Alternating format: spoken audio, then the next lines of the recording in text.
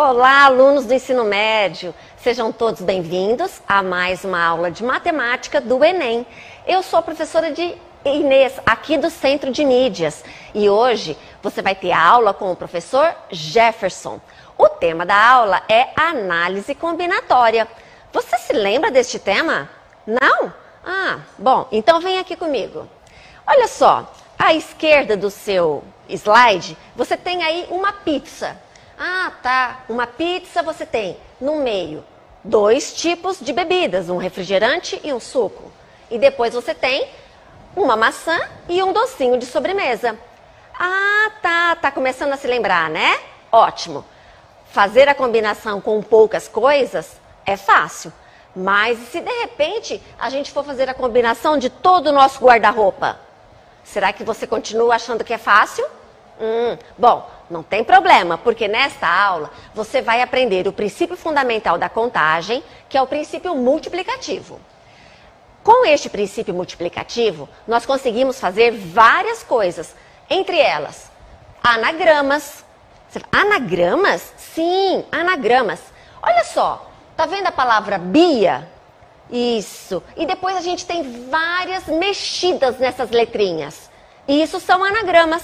São palavras que nós podemos formar a partir das letras de uma palavra inicial, mas essas palavras não precisam ter sentido, como por exemplo, A e B, ok? Bom, para a palavra Bia, com apenas três letras, é fácil fazer os anagramas, certo? Mas, e se você tiver que fazer os anagramas da palavra paralelepípedo, será que fica fácil? Não, né? Pois é. Então, você vai aprender e vai ver que a gente pode utilizar a permutação simples, que é dada pela expressão P igual a N fatorial. Mas fatorial, isso. O que é o fatorial? O fatorial é uma operação matemática, é uma operação de multiplicação, aonde ela se inicia no próprio número e vai multiplicando pelos seus anteriores até parar no número 1. Também temos por definição que zero fatorial vale 1. Tudo isso você vai ver nessa aula do Enem. Então, separe materiais, caderno, lápis, borracha, para você poder fazer suas anotações e desenvolver as atividades, para depois conferir com as do seu professor. Boa sorte nos seus estudos e lá na sua prova do Enem. Até mais, pessoal. Tchau.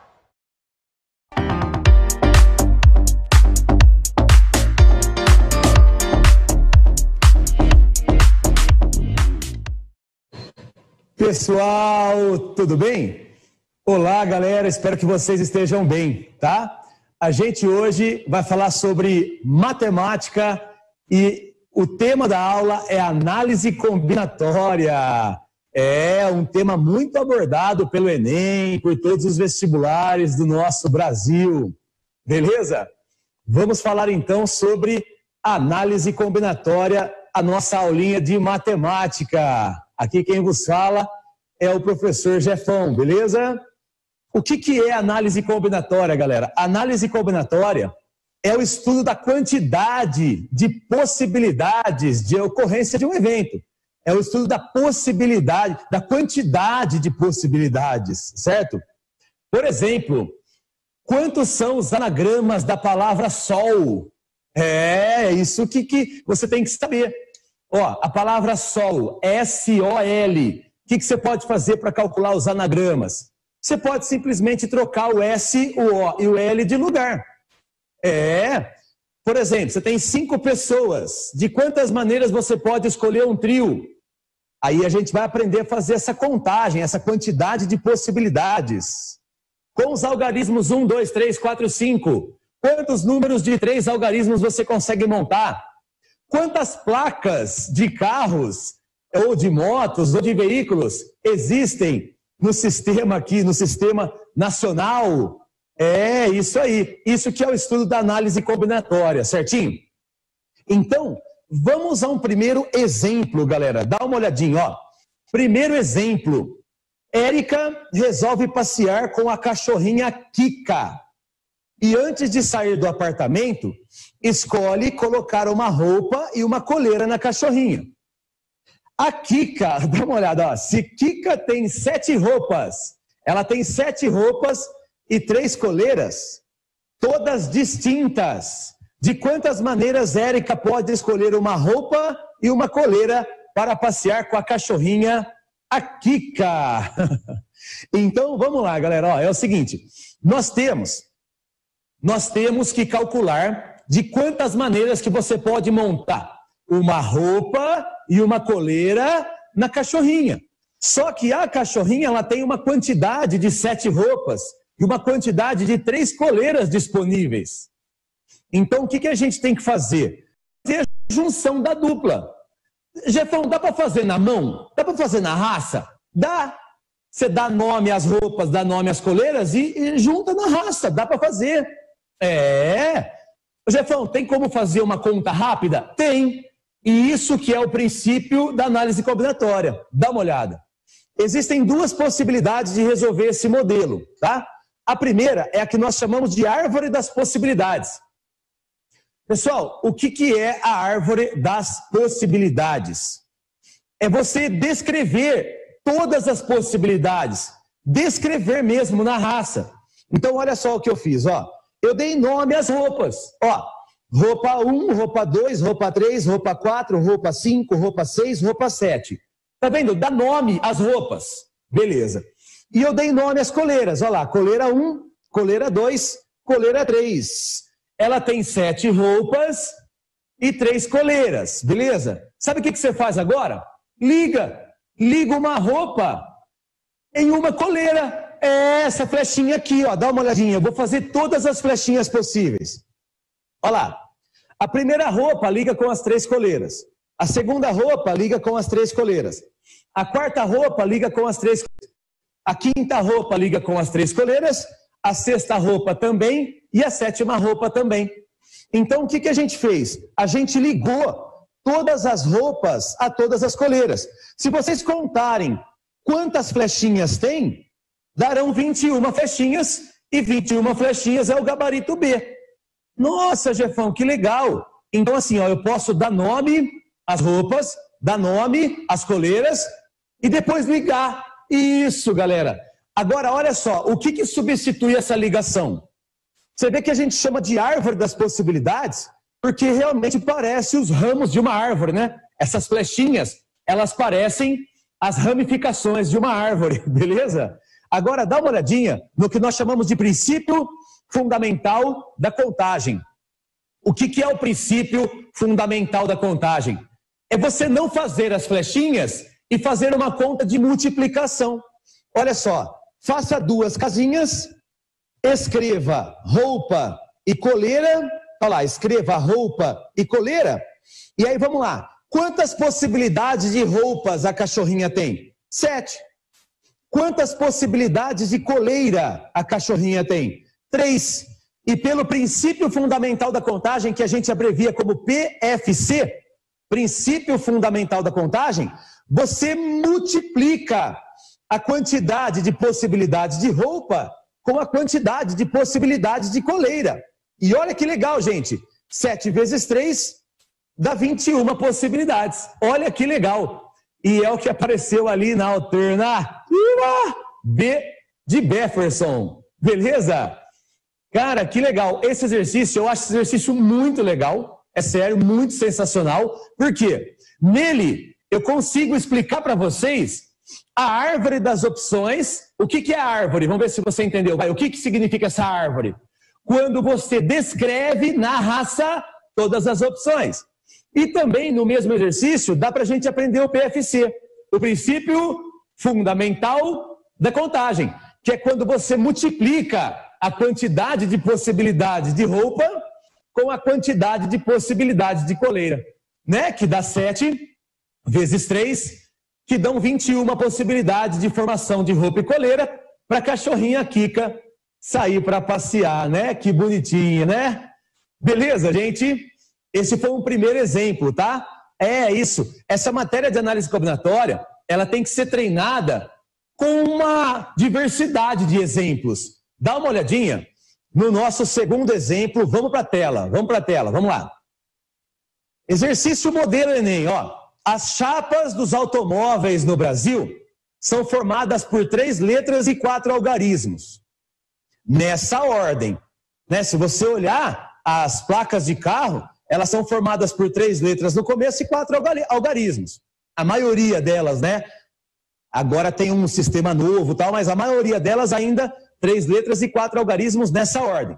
Usando o alfabeto de 26 letras, quantas chapas podem ser formadas? Quantas placas a gente pode montar?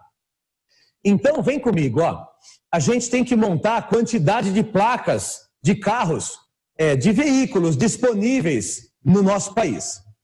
Ó, eu estou considerando que tem o quê? Três letras no começo e quatro algarismos no final. Agora, o exercício não, não afirma, lê de novo o texto, ó, é pura interpretação de texto. O exercício não afirma que as letras devem ser diferentes. É, ele não afirma que os algarismos devem ser diferentes. Então, quer dizer que pode ter repetição. Por exemplo, pode ter uma placa assim, ó. É M, M, W. Pode. M, M, tá vendo? Letra igual, W. E os algarismos podem ser, por exemplo, 0, 2, 2, 9. Pode, a placa pode ser 0, 2, 2, 9. Sem problema, pode ter repetição então, gente. Pode ter repetição. Ó, vamos para a tela, dá uma olhadinha. A gente faz assim, ó, coloca é, sete casinhas, tá vendo? Você faz sete casinhas e aí você escreve letra, letra, letra no começo e número, número, número, número no final. E aí, vamos lá, no enunciado ele fala quantas letras tem disponíveis o alfabeto. São 26. Aí na primeira casinha você põe 26. Vezes, né, pelo PFC, princípio fundamental, vezes. Quantas letras tem para a segunda casinha disponíveis? 26, porque pode ter letra repetida. Né? Se a primeira casinha, por exemplo, for, for C, a segunda casinha também pode ser C. Então a segunda casinha tem 26 possibilidades vezes a terceira casinha, ela também tem 26 possibilidades, porque pode repetir. Então, por enquanto, vamos lá, 26 vezes 26 vezes 26. Agora vem comigo um pouquinho. Pessoal, é o seguinte, em relação aos números, quais são os números que nós temos no sistema decimal de numeração? Vamos contar comigo, vai. Começa do zero, vai. Zero, um, dois, três, quatro, cinco, seis, sete, oito, nove. Ô, gente, do zero ao nove, eu tenho dez algarismos disponíveis. Do zero ao nove, eu tenho dez. Agora vamos voltar para a tela, dá uma olhadinha, ó. Então, na quarta casinha, eu tenho 10 algarismos disponíveis. Nessa casinha pode ser o 0, 1, 2, 3, 4, 5, 6, 7, 8 ou 9. Vezes na próxima casinha, como também pode repetir algarismos, tem 10 possibilidades. Na próxima casinha, como também pode repetir algarismos, tem 10 possibilidades. E na próxima casinha, como também pode repetir algarismos, tem 10 possibilidades. Então, se a gente fizer essa multiplicação, a gente obtém o total de placas é, de veículos, né, de automóveis, disponíveis nesse formato. No caso, letra, letra, letra, e no final, algarismo, algarismo, algarismo e algarismo. Só que olha que legal, essa multiplicação pelas alternativas não precisa ser feita. Por quê? Se você multiplicar 26 vezes 26 vezes 26, dá 26 ao cubo. Se você multiplicar 10 vezes 10 vezes 10 vezes 10, dá 10 elevado a 4. Então, o gabarito desse exercício é que o total de placas é 26 ao cubo vezes 10 a quarta, o que apareceu na alternativa A de Afferson. Beleza, gente? Ó, é só você contabilizar a quantidade de possibilidades de cada casinha e fazer o quê? Multiplicar. Você tem que contar quantas possibilidades e fazer o quê? Multiplicar. É igualzinho o exercício da cachorrinha Kika. Você contou quantas possibilidades e fez o quê? Multiplicou. Essa multiplicação significa a ligação de todas as letras, de todos os algarismos. E aí você gera o total de placas disponíveis nesse formato que nós temos no nosso país. Só que agora, vem comigo, ó, a gente tem uma outra possibilidade de pergunta. É, tem exercício que fala assim, ó, é, quantas placas você pode montar, só que com letras distintas, quer dizer, diferentes, e algarismos distintos, quer dizer, diferentes. Dá uma olhadinha no exemplo na tela, vamos lá. Um outro exemplo agora, muito parecido com o anterior, mas para todo mundo ficar atento com essa ideia que as letras e algarismos podem ser diferentes. Olha só o enunciado. As chapas dos automóveis no Brasil são formadas por três letras e quatro algarismos, nessa ordem. Usando o alfabeto de 26 letras, quantas chapas podem ser formadas utilizando letras distintas e números distintos? Presta bem atenção nessa última parte. Utilizando letras diferentes, né? A palavra distinto significa diferentes. Tá vendo? Não pode repetir. E números diferentes. Olha só, gente. É o seguinte: quando você não pode repetir letra e não pode repetir algarismo, agora eu tenho que levar em consideração as seguintes placas. Por exemplo, se a primeira letra for A, a próxima não pode ser A.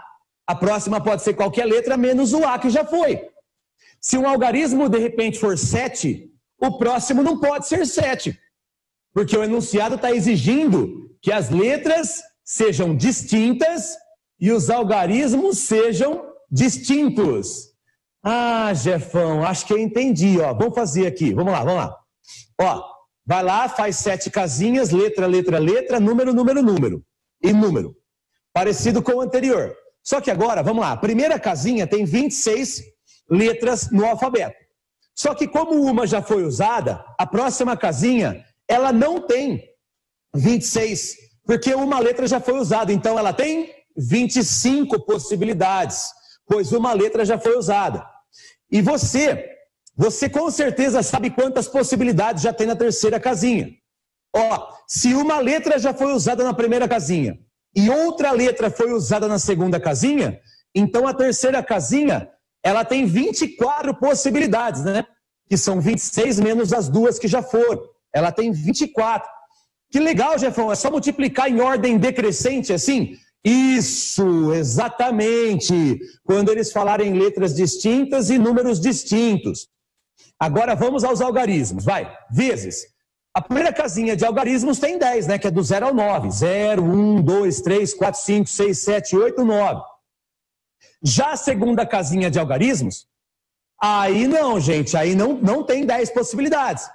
Porque, por exemplo, se eu já usei o 7, então a próxima casinha não pode usar o 7. Então, na verdade, a segunda casinha de algarismos, ela tem nove possibilidades. Nove possibilidades, pois um algarismo já foi usado. Vezes, a próxima casinha, ela tem oito possibilidades, pois dois algarismos já foram usados e você não pode repetir. E com certeza você sabe responder a última casinha. É, eu sei que você está respondendo certo aí. A última casinha tem sete possibilidades. Você acertou. Por quê? Porque não pode ser igual ao anterior, nem o anterior, nem o anterior. Três algarismos já foram usados. 10 menos 3 sobram 7. E aí, pessoal, é só fazer essa multiplicação. Agora, as alternativas elas não estão muito legais, né? Olhando para as alternativas, você percebe que você não tem saída, né?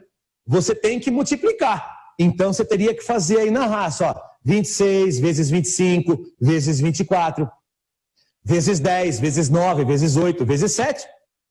Essa conta vai dar 78 milhões 624 mil placas que tem o quê? Vamos lá. Letras distintas e algarismos distintos. Olha só que legal, hein? Ó, esses três modelos, esses três exemplos que vocês assistiram agora, pô, são exemplos que resumem muito bem o que nós chamamos de princípio fundamental da contagem na análise combinatória. O que, que significa esse princípio? Nada mais, nada menos do que a multiplicação da quantidade de opções. É só multiplicar. Só que cuidado, tem hora que você pode repetir, então você multiplica, por exemplo, 10, 10, 10, 10, mas tem hora que você não pode repetir, tem que ler o texto. Depende muito, galera, da interpretação sua do texto. Lê o texto duas vezes, três vezes, interprete o texto. Depois você monta as casinhas e sai multiplicando. Combinado? Beleza. Bom, vem comigo, a gente vai mudar agora, a gente vai mudar de tema. É, porque a análise combinatória, ela tem vários temas, vários tópicos, várias regrinhas. Eu vou ensinar uma regrinha agora que indica essa ideia. É uma continuação, claro, não vou mudar do nada de tema. É uma continuação, claro. Sabe essa ideia desse exercício aqui de multiplicação em ordem decrescente? Sabe, em ordem decrescente? É, se você multiplicar em ordem decrescente um número pelo seu antecessor, pelo seu antecessor, e for até o 1, nós chamamos isso, galera, de fatorial. Fatorial. É, vamos para a tela, ó. Fatorial nada mais é do que uma operação de multiplicação na matemática. E ajuda a gente a fazer exercícios de análise combinatória mais rápido. É a ideia de aprender o fatorial é para você poder acelerar os seus recursos de análise combinatória. Então, por exemplo, ó, o fatorial ele é a multiplicação, tá vendo aí, ó, o produto dos números inteiros positivos consecutivos de um número natural menores ou iguais a ele. Ó, o símbolo do fatorial é uma exclamação, tá? Então, olha só, é para ler assim, ó, n fatorial, tá? Essa exclamação você lê fatorial. n fatorial nada mais é do que n vezes o antecessor dele, que é n menos 1, vezes o antecessor inteiro, que é n menos 2, vezes o antecessor inteiro, que é o n menos 3, vezes, vezes, vezes, vezes, até chegar no 1. Definição: 0 fatorial é 1, 1 fatorial é 1. Esses dois números eles não têm muita utilidade prática. Considerem esses dois números valendo 1. Já o 2 fatorial já é legal. O 2 fatorial é 2 vezes 1. Olha lá, é o 2 vezes o antecessor dele, que é 1, que dá 2. O 3 fatorial é 3 vezes 2 vezes 1. Olha lá, você multiplica, vai dar 6. Tá vendo? Tem a ver com o PFC, né? O princípio da multiplicação da análise combinatória. O 4 fatorial é 4 vezes 3 vezes 2 vezes 1, que dá 24. Nossa, Jefão, que legal! Então, ao invés de no vestibular eu, eu calcular 4, 3, 2, 1, eu poderia simplesmente trocar isso por 4 fatorial, Jefão. Isso, fera! Isso, fera! Exatamente! Ó, 5 fatorial, vai, fala você aí, vai. 5 fatorial, repete para você aprender, vai lá. 5, 4, 3, 2, 1. E aí você multiplica dá 120. 6 fatorial, vamos lá, 6 fatorial, você já sabe, vai. Ordem decrescente, contagem regressiva, vamos lá. 6, 5, 4, 3, 2, 1. Isso dá 720. Olha que legal. E o 7 fatorial, que cabe nesse slide, né? 7, 6, 5, 4, 3, 2, 1. 5.040. Nossa, Jefão, que legal! Recursos de análise combinatória para a gente fazer um exercício de multiplicação mais rápido, por exemplo? É isso? Essa é a intenção? Exatamente. Vem comigo que eu quero te explicar uma coisa. Ó, para que, que serve esse tal de fatorial? A gente usa ele mais para fazer uma troca. Por exemplo, eu quero trocar três canetas de lugar. Eu quero trocar só, sabe? Azul, preta e vermelha. Eu quero ficar trocando. Aí você não precisa fazer nenhuma contagem, assim, fazer o PFC. Você pode usar o fatorial. Ó, são três canetas. Aí você fala assim: trocar três canetas de lugar é três fatorial. E olha só, três fatorial, 3, 2, 1, quanto que dá? Dá seis. É, se você quiser, faz aí. Pega três canetas e fica trocando de lugar para você ver. Vai ser assim, ó. Preta, azul, vermelha. Preta, vermelha, azul. Duas. Azul, preta e vermelha. Três. Azul, vermelha e preta. Quatro. Vermelha, preta e azul. Cinco. E vermelha, azul e preta. Seis. Olha que legal, gente. É, o fatorial, ele ajuda a gente a fazer uma troca de posicionamentos. Por exemplo, eu quero trocar de lugar as letras da palavra amor. Ah, as letras da palavra amor. Beleza? São quatro letras. Aí você vai fazer o quê? 4 fatorial. Se você trocar as letras da palavra amor, 4 fatorial dá 24. Beleza? Olha que legal. Se você ficar escrevendo A-M-O-R, A-M-R-O, sabe, ficar trocando as letras, chama anagrama isso, tá, pessoal? Quando troca a letra. É muito legal, cara. Esse recurso aqui de análise combinatória é muito legal para você poder fazer troca de lugar. Por exemplo, ó, eu quero trocar, vamos lá, eu quero trocar cinco pessoas de lugar. É, você tem cinco pessoas enfileiradas, você quer trocar cinco pessoas de lugar. Rápido, cinco fatorial, cinco fatorial, que dá 120 trocas. É, exemplo, seu nome é Pedro, o seu nome é Pedro, vamos lá, Pedro. Ó, Pedro tem cinco letras. Quantos anagramas tem a palavra Pedro? Cinco fatorial. É, que dá 120 anagramas. Ó, você chama Daniel, Daniel tem seis letras. Seis fatorial, os anagramas da palavra Daniel, dá 720 anagramas. Fred, por exemplo, Fred, ó, são quatro letras trocando de lugar. 4 fatorial dá 24. Jefão, Jefão, 5 fatorial dá 120. Né?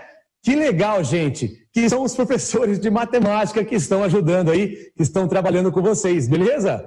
Jefão, Fred, Daniel e outros professores amigos que estão ajudando bastante a gente aí, né? Olha só que legal, moçada.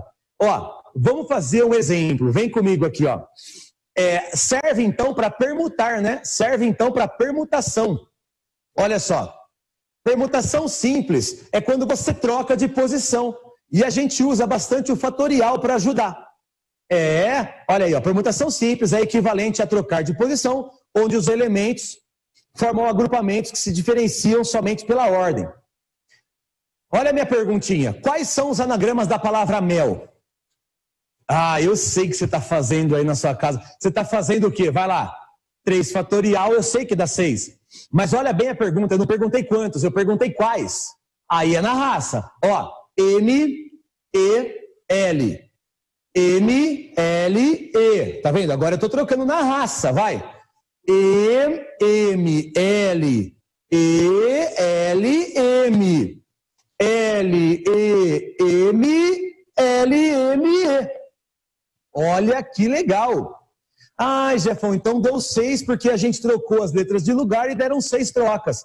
É, só que tem uma fórmula. A permutação de N elementos, N letras, N números, N objetos, é N fatorial. Por exemplo, se a pergunta fosse essa, ó. Quantos são os anagramas da palavra mel? Quantos? Aí sim. Aí você fala que é a permutação de 3, que dá 3 fatorial. E lembre-se, né? 3 fatorial é 3, 2, 1. Né? 3 vezes 2 vezes 1, que dá quanto? Que dá 6 né? Quantos são os anagramas da palavra mel, né? Olha lá, são seis anagramas. Poxa, gente, essa tela está muito bem é, colocada, né? Você está vendo quais são os anagramas da palavra mel e você está aprendendo a calcular quantos são os anagramas da palavra mel, utilizando o recurso do símbolo da exclamação, que nós chamamos de fatorial. Legal demais, né? Ó, vem comigo um pouquinho.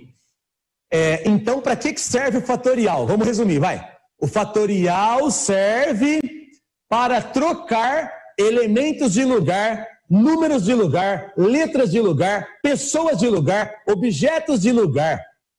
Por exemplo, ó, quando você está dentro de um carro que cabe cinco pessoas no carro, gente, de quantas maneiras que essas pessoas podem trocar de lugar? Se todo mundo sabe dirigir, pode dirigir, são cinco fatorial. 5 fatorial que dá 120 trocas. Não é verdade? Beleza? Ó, vamos fazer um exemplo. Olha só, um exemplo modelo Enem na tela. Olha aí, ó. Um fotógrafo foi contratado para tirar fotos de uma família composta por pai, mãe e quatro filhinhos. Beleza. Organizou as pessoas lado a lado e colocou os filhos entre os pais. Tá. Então os filhos têm que ficar no meio na foto, certo? Mantida essa configuração, o número de formas em que poderão se posicionar para a foto é Mantida essa configuração, o número de formas em que poder, poderão se posicionar para a foto. Faz isso, ó. Desenhe seis casinhas. Coloque o pai e a mãe nas extremidades. Ó, eu coloquei o pai na esquerda e a mãe lá na direita, tá vendo? Ó, o pai e a mãe nas extremidades. E no meio você coloca os filhos. Ó, eu coloquei os quatro filhinhos, tá? Que eu chamei de ABCD. Quer que eu dou um nome para eles? Eu dou o um nome. Aferson, Befferson, Ceferson e Defferson. É isso aí. Beleza, então nós temos os quatro filhinhos no meio. Vai lá e bate a foto. Mas espera um pouco. Pessoal, o que, que eu posso fazer com o pai e com a mãe? Eu posso trocar de lugar. E a troca do pai e da mãe de lugar gera dois fatorial trocas. Porque pode ser pai e mãe ou mãe e pai. Né? O pai na esquerda, a mãe na direita, ou ao contrário, a mãe na esquerda e o pai na direita. Então eu escrevi 2 fatorial, indicando que 2 fatorial é a troca do pai e da mãe. Combinado? O pai e a mãe podem trocar 2 fatorial vezes de lugar.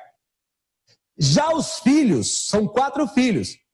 Você concorda que eles podem trocar de lugar?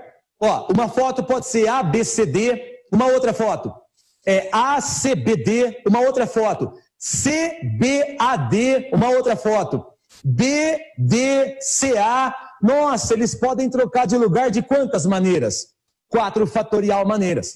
Quatro fatorial maneiras. Porque eles são quatro, né? Quatro filhos que trocando de lugar gera quatro fatorial maneiras. Ou você poderia simplesmente escrever 4 vezes 3 vezes 2 vezes 1, multiplicando mesmo o PFC, né? O princípio fundamental da contagem. Vem comigo um pouco, ó, vamos, vamos só discutir isso mais um pouquinho. Galera, o pai e a mãe, o pai e a mãe, eles podem trocar de lugar. 2 fatorial, porque são quantas pessoas? Duas. Agora, os quatro filhos no meio, eles podem trocar de lugar. 4 fatorial, não é? 4 fatorial. Porque são quatro, o quê? Quatro filhos trocando de lugar entre si. Não é verdade? E aí gerou essa continha, ó. Vamos para a tela para finalizar. Olha lá, 2 fatorial é a troca do pai e da mãe. 4 fatorial é a troca dos filhos. Lembre-se, 2 fatorial é 2 vezes 1, um, que dá 2, né? E 4 fatorial é 4, 3, 2, 1, que dá 24. E multiplicando 2 por 24, você obtém 48 fotos. De quantas maneiras que eu posso tirar uma foto dessa família?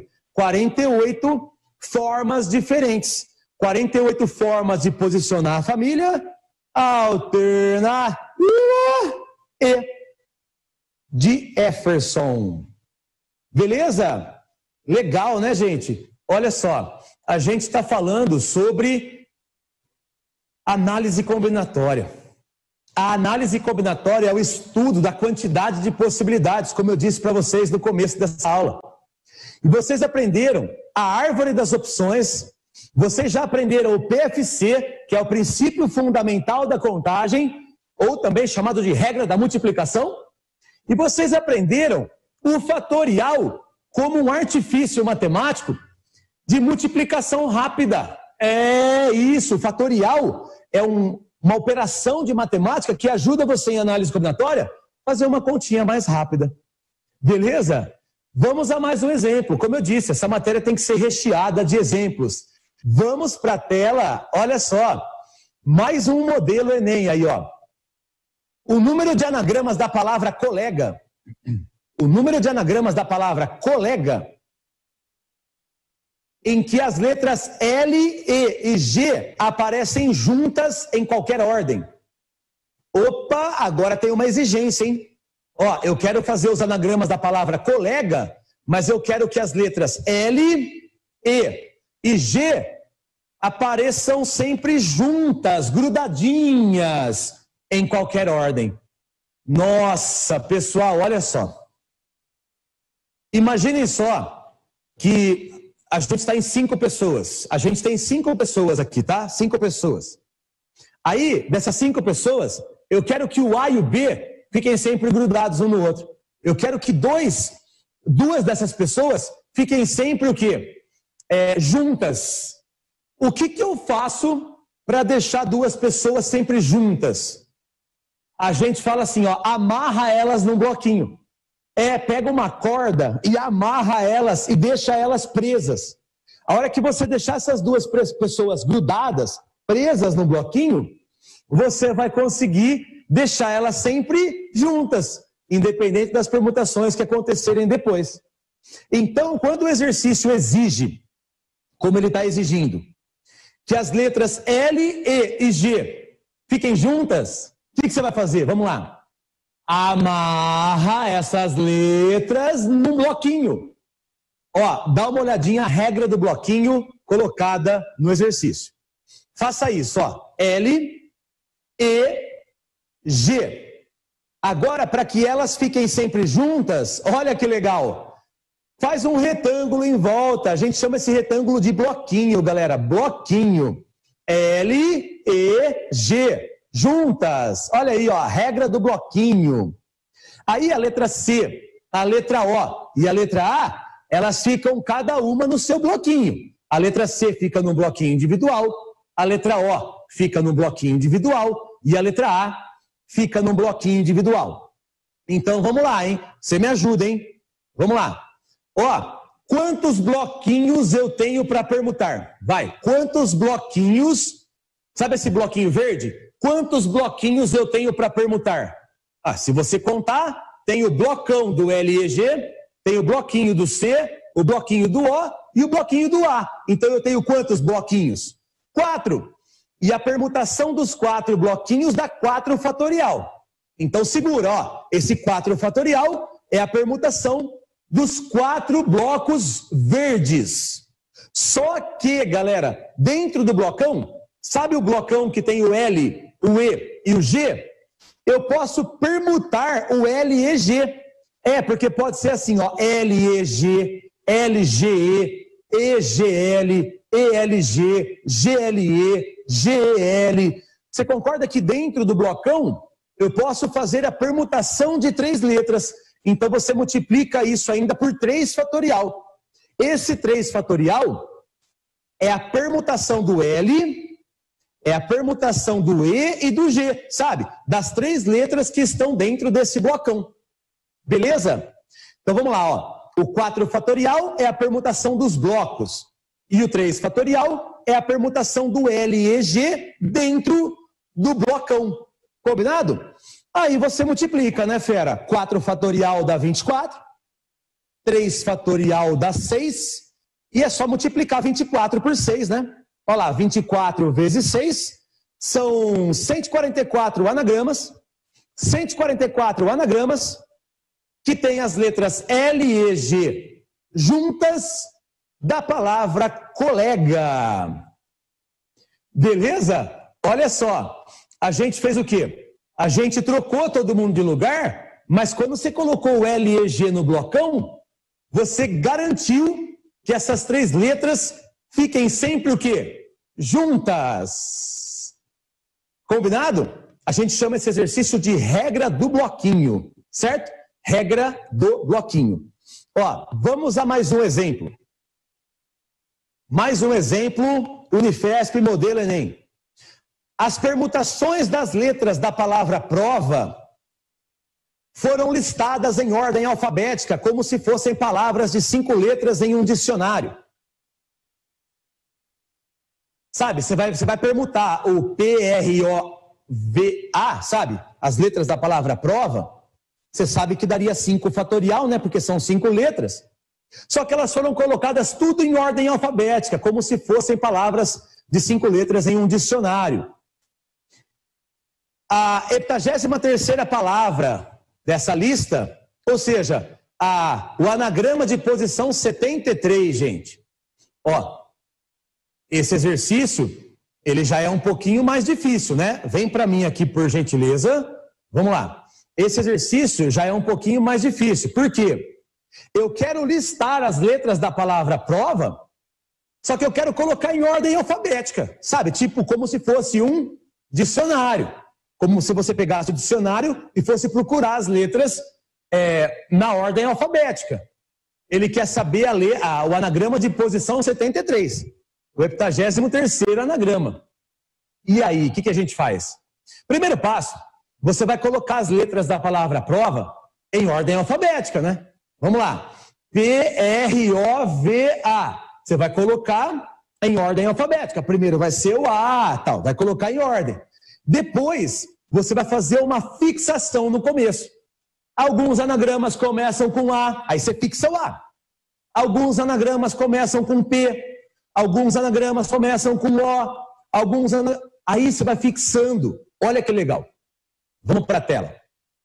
Ó, colocando em ordem alfabética as letras da palavra prova, geramos a seguinte ordem: A, O, P, R, V. A, O, P, R, V. Combinado?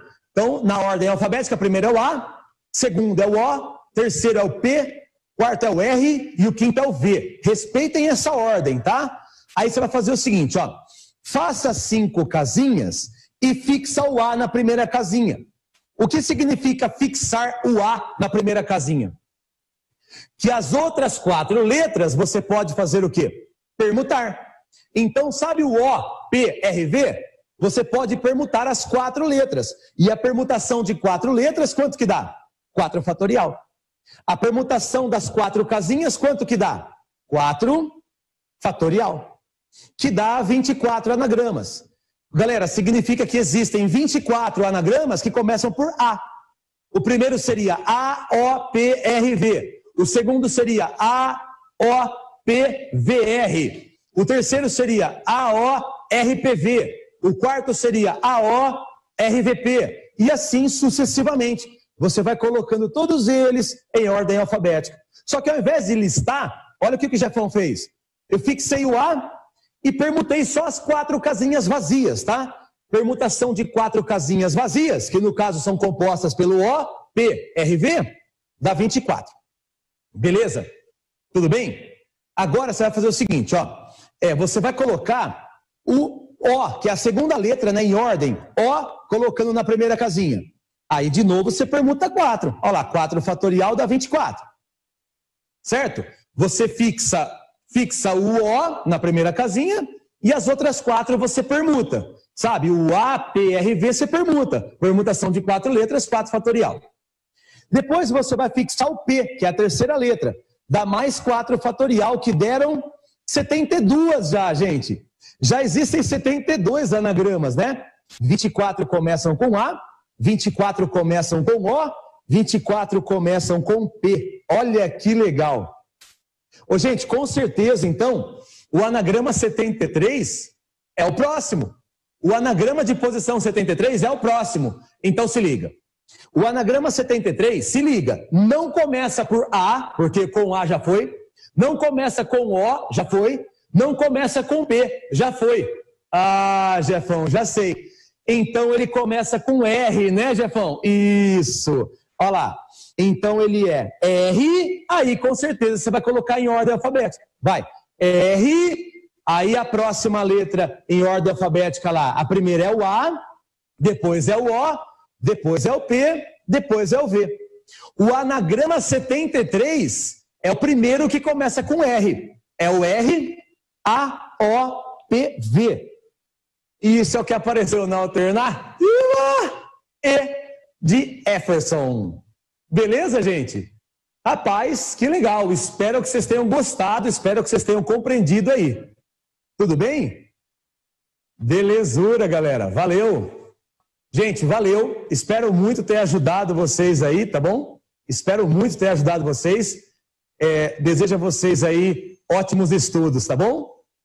Valeu, galera. Se Deus quiser aí, até uma próxima.